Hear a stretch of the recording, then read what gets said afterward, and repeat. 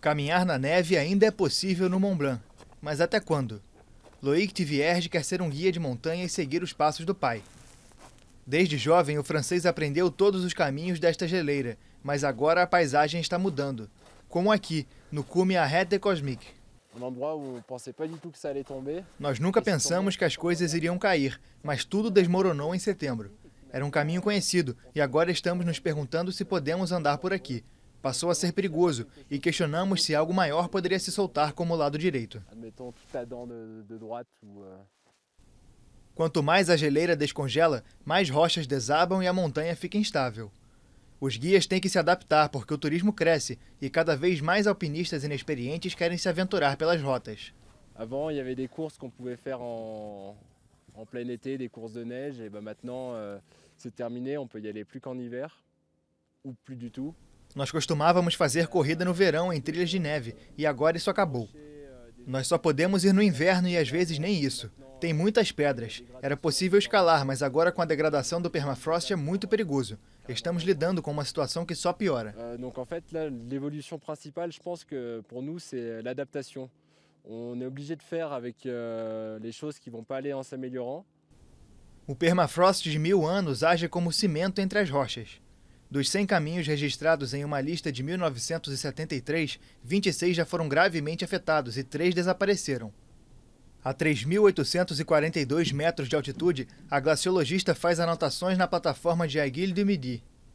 A montanha tem muitas estações e termômetros em diferentes alturas, mas a coleta de dados tem de ser feita pessoalmente. É esta camada ativa que piora por causa do degelo a cada ano, que acreditamos ser o que faz as rochas cederem. Florence Manhã e a equipe na Universidade de Mont Blanc são objetivas sobre o assunto. A temperatura sobe de 1 a 1,5 grau e meio a cada década. Neste passo, em 30 ou 40 anos, o permafrost vai desaparecer completamente nesta altitude.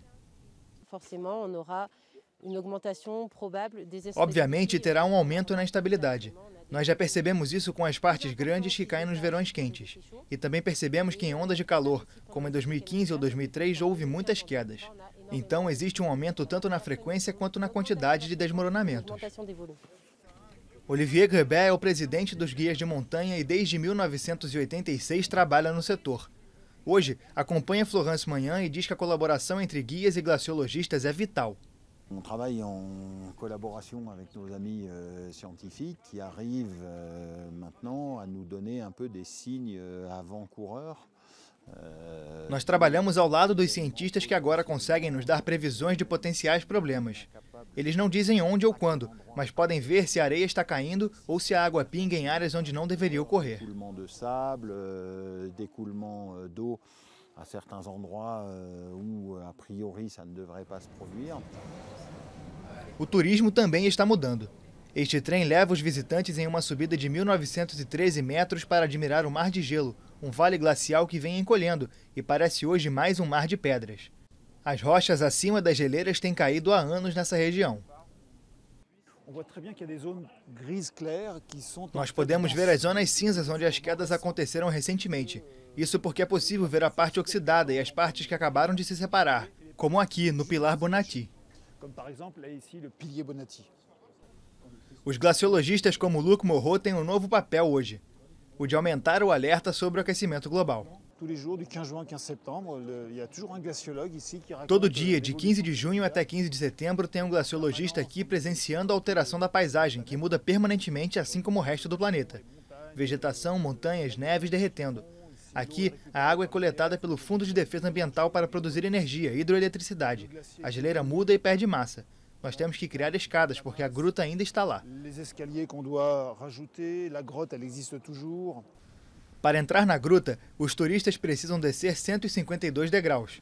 Durante o caminho, existem alertas para os desníveis do gelo. Toda primavera, engenheiros precisam cavar ainda mais para conseguir acesso. O interior é ainda mágico, mas muitos turistas notam as mudanças. Eu vim aqui com meus pais cerca de 30 anos atrás e tinha muito mais neve nas geleiras. A neve costumava descer muito mais. Nós costumávamos vir aqui para admirar, mas agora viemos para ver o tamanho do estrago. É assustador pensar em mudança climática e o impacto visível nas geleiras francesas e em todo o mundo. Uma massa de 4 milhões de metros cúbicos de rocha se desprendeu nos Alpes suíços em 2017, matando oito alpinistas e destruindo uma vila local. Todas as geleiras da região estão afetadas. Uma péssima notícia para os 25 mil praticantes do esporte que fazem peregrinação ao maior pico da Europa todos os anos.